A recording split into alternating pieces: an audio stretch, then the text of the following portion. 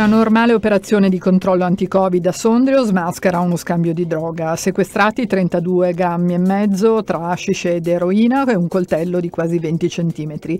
In Valchiavenna all'opera i carabinieri forestali, sequestrata una ditta di smaltimento di inerti.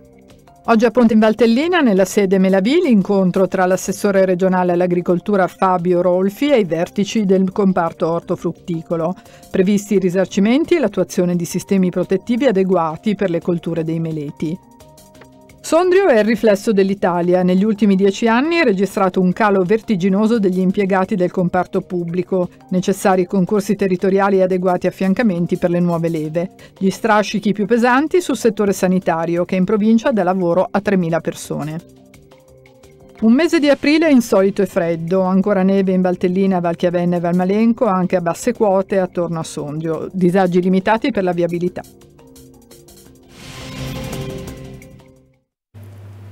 Buonasera ai telespettatori di TSN, nuovo appuntamento con l'informazione di Telesondrio News. Apriamo il nostro giornale con una notizia appena arrivata, un'ottima notizia per il turismo di montagna. La conferenza delle regioni e delle province autonome infatti oggi ha approvato la proposta di riparto dei 700 milioni di euro messi a disposizione dal decreto sostegni al turismo di montagna più ulteriori 100 milioni di euro. Ne danno notizia in una nota congiunta l'assessore di Regione Lombardia e enti locali, montagna e piccoli comuni Massimo Sertori, il sottosegretario con delega allo sport Antonio Rossi e tutti gli assessori regionali dell'arco alpino e delle province autonome. Nel dettaglio 430 milioni di euro saranno destinati per gli indennizi degli impianti di risalita, applicando il metodo già utilizzato in Francia che si basa sul calo del fatturato tra le stagioni invernali 2019-2020. Pari a 40 milioni invece è la dotazione prevista per gli indennizi dei maestri di sci e queste risorse saranno ripartite tra le regioni in base al numero degli iscritti agli albi professionali. Infine è stato definito il riparto dei 230 milioni di indennizi destinati a tutte le partite IVA della filiera. La quota spettante, spettante alle singole regioni per l'indennizzo di ristoranti, rifugi, noleggiatori, fornitori e di tutte le attività correlate sarà ripartita sulla base delle presenze turistiche e quindi le singole regioni determineranno determineranno tempi e modi di indennizi. È la prima volta, spiegano gli esponenti di, delle regioni alpine, che il governo stabilisce un intervento mirato al turismo della montagna, uno dei settori più colpiti dalla pandemia e lo fa con l'articolo 2 del decreto sostegni mettendo in campo 800 milioni di euro.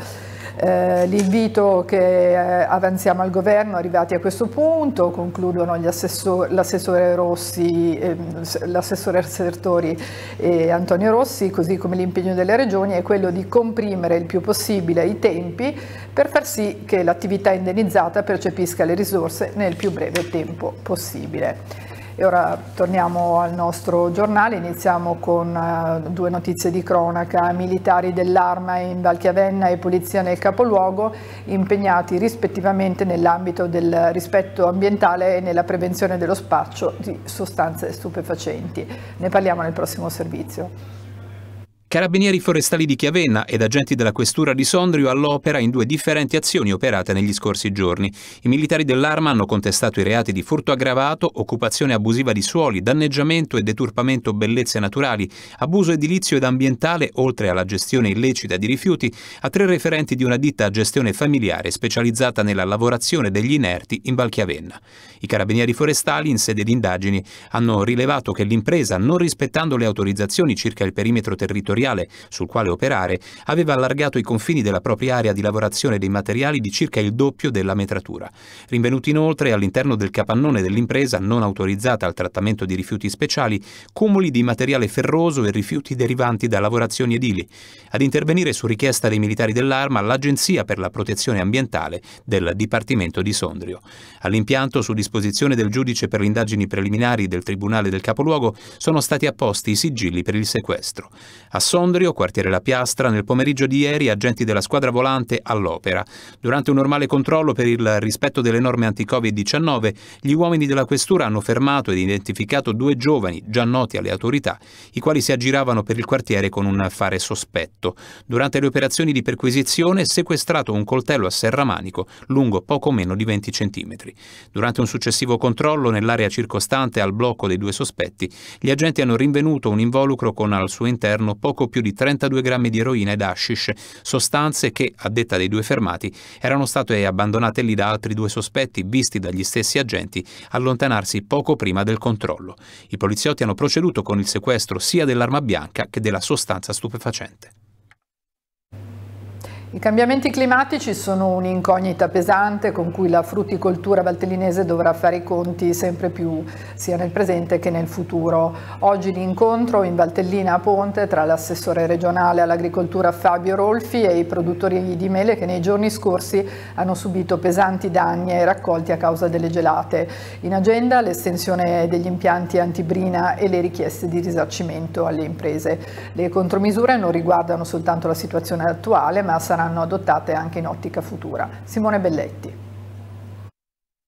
Incontro proficuo quest'oggi a Ponte in Valtellina presso la sede della società agricola Melavi tra l'assessore all'agricoltura, alimentazione e sistemi verdi di Regione Lombardia Fabio Rolfi, il consigliere regionale Simona Pedrazzi e i vertici di Melavie col diretti Sondrio, in seguito alle gelate dei giorni scorsi che hanno recato danni ingenti ai raccolti.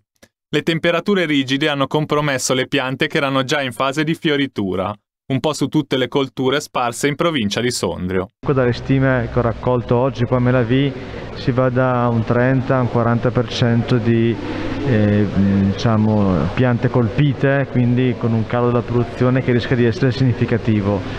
Cosa fare? Io credo che vadano subito avviate le pratiche per chiedere la calamità e quindi una deroga ai sistemi di indennizzo nazionali. Già fatto la lettera al Ministro eh, proprio nelle scorse giornate per chiedere una deroga al decreto 102. Sicuramente le perdite sono state ingenti, ehm, vedremo nei prossimi mesi, eh, la stima sarà sicuramente più mm, precisa, ehm, perdite che però devono, eh, bisogna appunto eh, considerare per quelle che sono e cercare di trovare soprattutto dei sistemi di prevenzione perché appunto questi, questi questi eventi eccezionali ma che ormai eccezionali non sono più perché si verificano regolarmente tutti gli anni eh, siano gestiti il più possibile dall'attività agricola.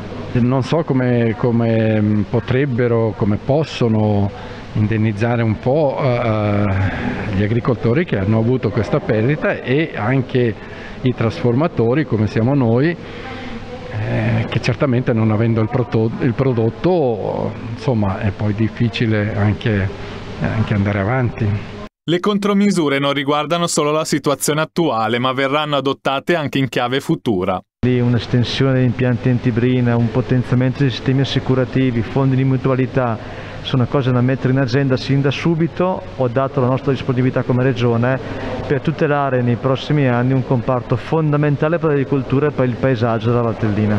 Il primo, quello importante, è attuare una misura efficace ed efficiente affinché le gelate possano in qualche modo non eh, essere così un grosso problema o il problema del nostro, del nostro comparto delle mele. E poi sicuramente quello del, del marketing, poter eh, eh, mettere in promozione un prodotto che è forte, un prodotto di ottima qualità, un prodotto che ha una qualità superiore a tante altre, ma che in modo commerciale si sente un attimino inferiore. Rolfi assicura vicinanza e sostegno agli agricoltori. Nel corso dell'incontro sono stati esaminati progetti non solo a breve termine e anche un potenziamento degli strumenti che tra l'altro noi sosteniamo, penso ai fondi di mutualità, per tutelare il reddito degli agricoltori. Lo si è fatto per altre filiere agricole, il latte, la carne, facciamolo anche per la frutticoltura in particolare di montagna che ha una sua valenza importante. E da ultimo, ma non per ultimo, anche la volontà di accompagnare Melavi a tornare, e quindi la MLGP della Valtellina, a tornare ad essere conosciute e apprezzate dai Lombardi. Diminuzione del personale e necessità di un piano straordinario di assunzioni e pensionamenti in crescita.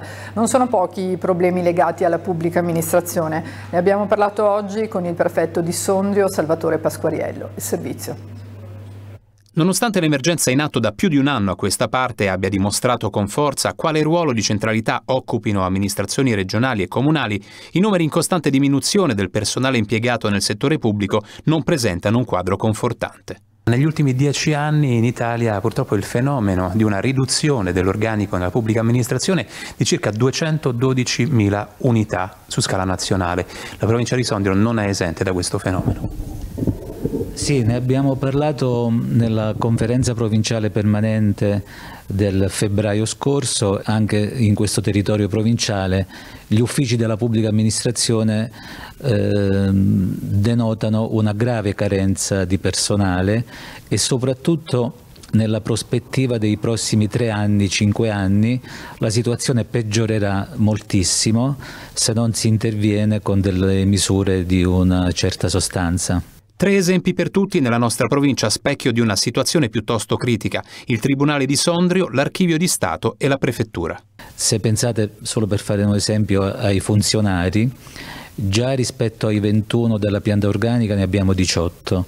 Di questi 18, eh, 5 quest'anno vanno in pensione e nei prossimi tre anni altri 5, quindi noi avremo solo eh, 8 persone su 21 per fare un lavoro che viene richiesto a una prefettura in una provincia. Impoverimento del personale, conseguente necessità di un piano straordinario di assunzioni e poi pensionamenti in crescita, aggravati dalla mancanza di affiancamenti e di passaggi di consegne.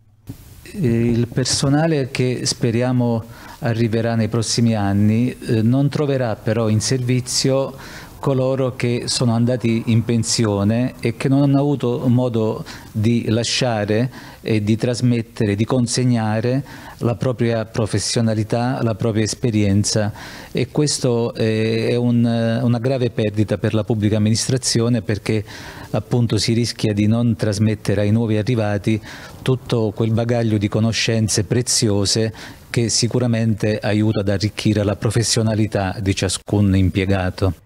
Il problema investe anche il settore della sanità che nella nostra provincia dà lavoro a circa 3.000 persone su un totale di 5.000 impiegati del comparto pubblico. Il suggerimento di eh, considerare dei concorsi anche decentrati eh, in modo che chi eh, partecipa a un concorso per esempio per il territorio di Sondrio sappia che si deve fermare sul territorio o essere del territorio in modo che eh, non si assista a trasferimenti imprevisti. Un eh, particolare apprezzamento e ringraziamento a tutti coloro che lavorano negli uffici che costituiscono la pubblica amministrazione in questa provincia perché eh, compiono un grande lavoro nonostante siano in pochi e nonostante i compiti aumentino ogni giorno. Un mese di aprile insolito e molto molto freddo, ancora neve in Valtellina e in Valchiavenna, in Valmalenco e anche a basse quote intorno a Sondrio. Disagi limitati per fortuna per la viabilità. Vediamo. Tanto per cambiare nevica, in perfetta tendenza con l'andamento dell'intera stagione invernale. Un'altra ondata di maltempo in Valtellina, Valchiavenna, Valmalenco non sembra dare tregua, non solo in alta valle ma ad Aprica e forse maggiormente sulle colline del capoluogo a soli 500 metri di quota, in paesi come Tresivio, Postalesio, Castione, Triangia. La neve ha fatto il suo ritorno in perfetta sintonia con le temperature attorno allo zero termico. Per le strade della magnifica terra la delicata spruzzata col sole che ha fatto capolino si è sciolta presto senza creare disagi agli automezzi per i quali proprio oggi scade l'obbligo di indossare pneumatici da neve o trasportare le catene a bordo. Quest'anno ne è venuta tantissima e peccato che gli impianti erano chiusi, però eh, il paesaggio era meraviglioso. Effetto scenico a parte, la percezione dei più è quella del disinteresse, rafforzato dall'abitudine della rassegnazione, che ha preso il posto del consueto gioire. A chi giova se la stagione sciistica non è partita con positivo effetto domino su tutta l'economia? Il coltello si rigira sempre nella solita ferita. Una stagione stupenda con tanta neve così, rovinata dalla pandemia, non abbiamo potuto lavorare e purtroppo siare. Speriamo che finisca tutto al più presto con i vaccini. Questa nevicata è l'ennesima presa in giro, si spera sia l'ultima. Che speriamo sia l'ultima nevicata di quest'inverno lunghissimo. Non ne possiamo più del freddo e della neve e della pandemia.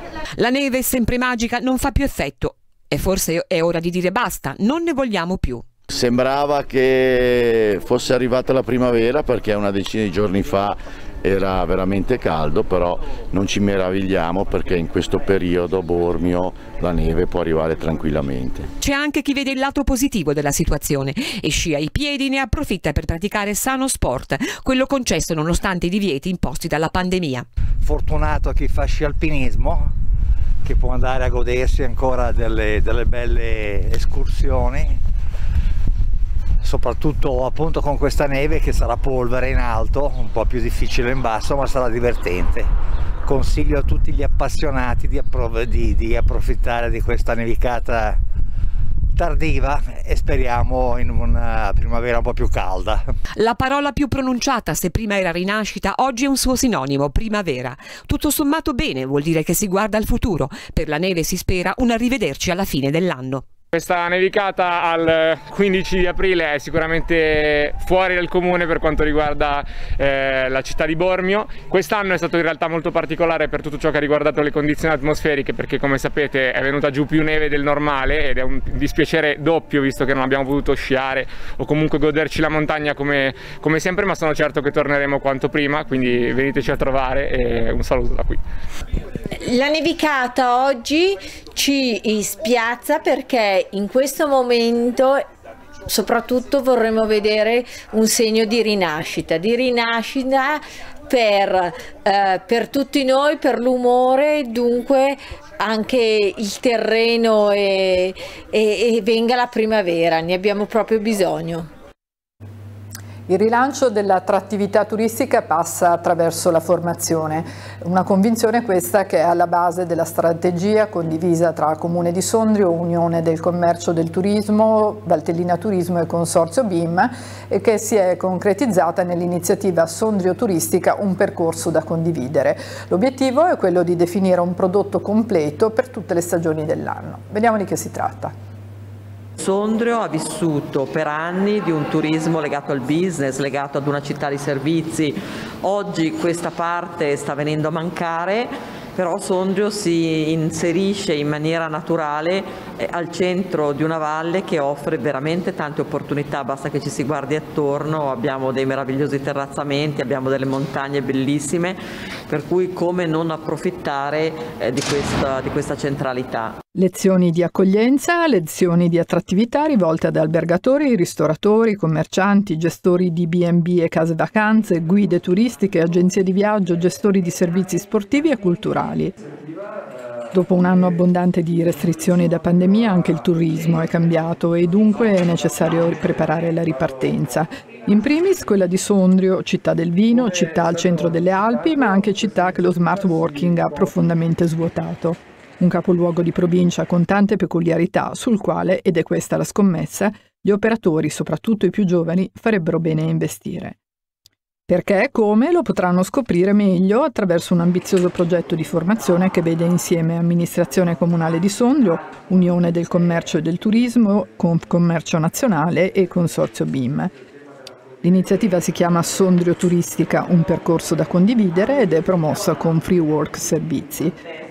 Un percorso formativo in quattro moduli della durata di quattro ore ciascuno, rivolto sia a operatori del settore dell'accoglienza che ad aspiranti tali, affidata a massimi esperti in materia con la mission di alzare l'asticella dell'attrattività di un territorio che per sua fortuna non deve inventare nulla, ma soltanto proporre al meglio ciò che già naturalmente possiede comincerà a parlare non solo di comunicazione, di food experience, di come valorizzare il, i prodotti locali, di cosa vuol dire un'esperienza, di come si declina questo concetto sia in termini di accoglienza che di proposta, eh, di cosa si intende quando si parla di prodotto turistico, come farne un valore aggiunto, una, sostanzialmente un, un asset da, da, da sviluppare per far crescere ovviamente la città e noi speriamo ovviamente che crescano possano crescere sia le attività già presenti e perché no magari qualcuno possa trarre ispirazione da questo corso per cercare di investire in città in nuove iniziative imprenditoriali di questo tipo. Per la propria collocazione, il capoluogo, anche a detta del sindaco Marco Scaramellini, presente oggi alla presentazione, avrebbe le caratteristiche per diventare un hub per il turista. Un turista potrebbe venire e far base a Sondrio e poi andare in montagna a Chiesa Valmalenco a fare delle arrampicate a Chiesa Valmalenco, andare col trenino rosso, addirittura eh, usare il lago come, come riferimento, eh, usare la bicicletta d'estate ed arrivare fino allo Stelvio. Insomma, è veramente, si posiziona dal punto di vista geografico come un vero hub e perché non pensare ad un grosso potenziale turistico. Al centro del corso di formazione anche la necessità di non vendere più un semplice prodotto, ma il territorio nella sua interezza. Noi abbiamo la fortuna di avere il prodotto, e abbiamo anche il territorio, dobbiamo coniugare le due cose. Oggi sicuramente dobbiamo costruire qualcosa attorno al territorio perché il prodotto già c'è. Un'opportunità dunque da non perdere, quella dei moduli formativi per chi ha a cuore Sondrio e non smette di credere nel suo potenziale turistico.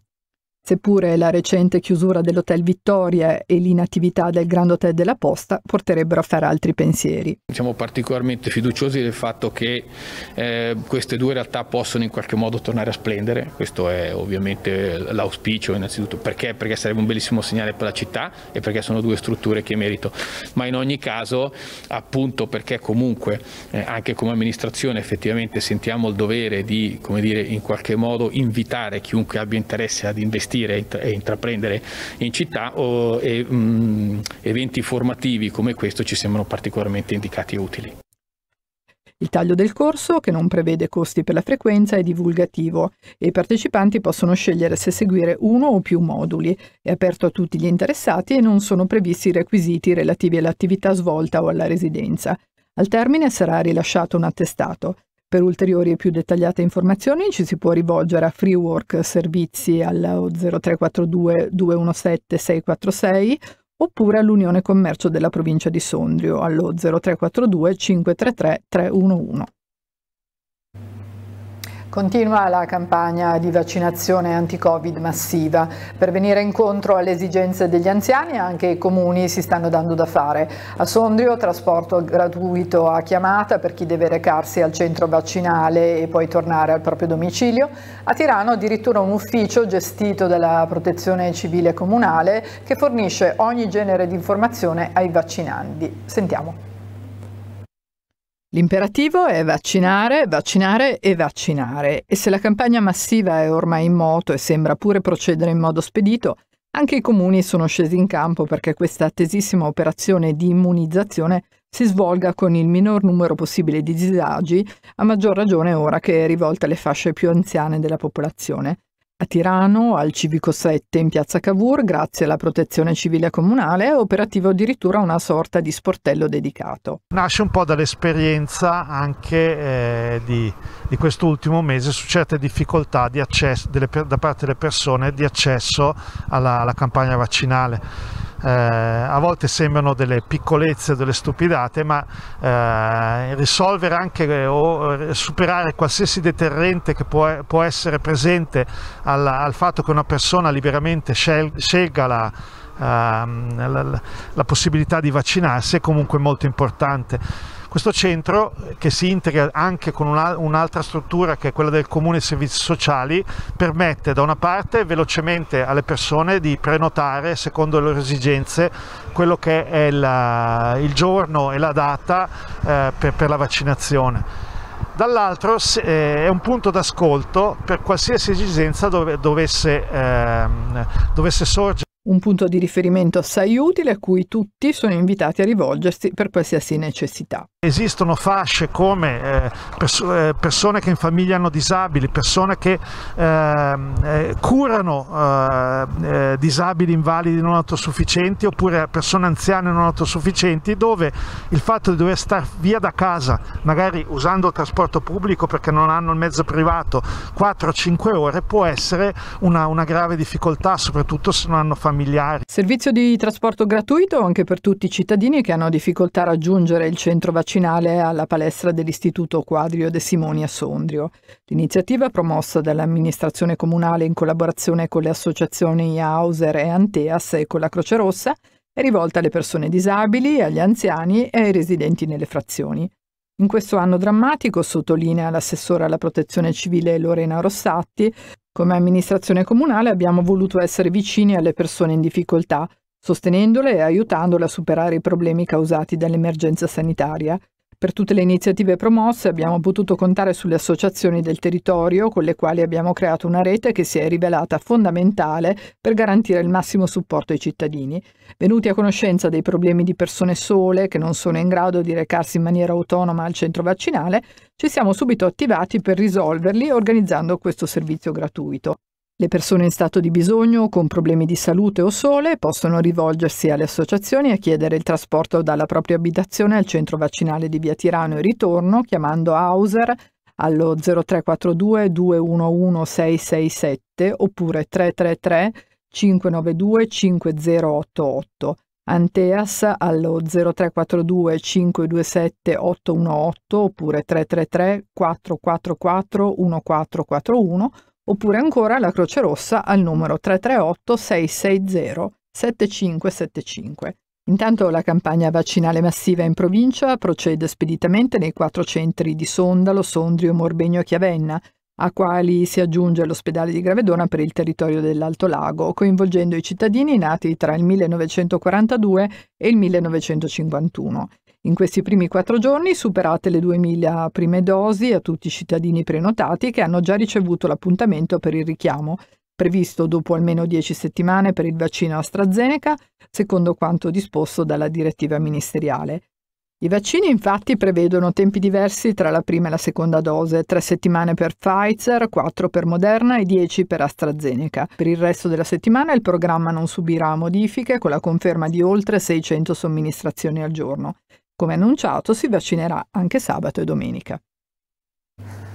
E ora parliamo di una preziosissima convocazione sportiva, quella grazie alla quale l'atleta di judo paralimpico Federico Dura parteciperà ai mondiali in Turchia il, in programma a maggio. All'orizzonte incrociamo le dita le Paralimpiadi di Tokyo. Ne parliamo nel prossimo servizio. Federico Dura, l'atleta paralimpico sondriese, stacca il pass per il Grand Prix di Judo in programma ad Antalya, Turchia, dal 23 al 30 maggio prossimo. Una convocazione preziosissima per il judoka della categoria 73 kg, chiave d'ingresso per la sedicesima edizione delle Paralimpiadi che avranno luogo a Tokyo il prossimo agosto. Federico lo siamo andati a trovare nella palestra sociale della Piastra a Sondrio, dove quotidianamente si allena assieme a papà Maurizio andiamo a fare questo Grand Prix per eh, giudicarci punti per andare a Tokyo, sperando di riuscire e sperando pandemia permettendo. I miei programmi adesso sono qualificarmi per le Paralimpiadi di Tokyo e aiutare questa palestra a decollare e aiutare tutte le famiglie anche perché la palestra sociale di Sondrio, portata avanti tra mille sforzi ed il preziosissimo aiuto del comune del capoluogo, è divenuta nel tempo un importante punto di riferimento non solamente per lo sport. Certo, le chiusure imposte da questa tremenda pandemia non sono state il massimo, ma c'è da dire che proprio grazie all'impegno di Maurizio, che ha aperto le porte della palestra anche a quegli studenti sprovvisti di una connessione ad internet in tempi di didattica a distanza, questo luogo si è rivelato un esempio di come, se si vuole, la solidarietà possa essere il motore trainante, la via d'uscita dai momenti più difficili. Un riconoscimento alla perseveranza avviene anche da una borsa di studio sportiva assegnata a Federico dalla Yuki Onlus di Milano per mano di Maurizio Dura, a dimostrazione dell'impegno e della dedizione con cui l'atleta porta avanti la propria carriera agonistica portati per mano eh, dalla Yuki Onlus, questa organizzazione questa, eh, che eh, lei e anche altre organizzazioni stanno, stanno supportando i nostri atleti agonisti eh, diciamo un po' il fanalino anteriore di questa, di, di questa squadra è eh, da tanto tempo Federico Dura, eh, nazionale paralimpica. I giovani questa palestra devono vederlo come uno spiraglio e capire che c'è un altro mondo oltre quello che conoscono magari sbagliato. E allora avanti Federico, facci sognare. A partire dagli anni Ottanta la Fondazione Luigi Bombardieri del CAI sezione valtellinese organizza la Sfinge Alpina, rassegna di incontri dedicati a personaggi, mitei e leggende legati alla montagna. La pandemia ha impedito gli incontri in presenza ma grazie alla piattaforma Zoom la Sfinge Alpina è stata seguita e apprezzata in tutta Italia. Ce ne parla Paolo Croce. Siamo arrivati alla conclusione del ciclo di incontri dedicati a personaggi, vicende e avventure dell'alpinismo. In cabina di regia, è il caso di dirlo, il CAI sezione valtellinese. Sono state in tutto 12 le serate da fine gennaio a oggi. Anche le limitazioni dovute alla pandemia sono state superate brillantemente. Anzi, il CAI valtellinese, con questa vetrina multimediale, si è fatto conoscere in tutta Italia. Abbiamo fatto queste, questi 12 incontri e direi che possiamo sì dire che è andato molto bene. Eh, abbiamo avuto la possibilità di avere grossi personaggi, di far vedere degli ottimi film, di presentare dei bei libri, insomma un qualche cosa di interessante. E fra l'altro grazie al fatto che con la pandemia abbiamo dovuto usare Zoom, abbiamo avuto anche l'opportunità di aprire un po' i confini. Cioè, mentre prima la Sfinge Alpina era ovviamente una manifestazione prettamente locale, in questo modo hanno potuto conoscerci un po' da tutta Italia.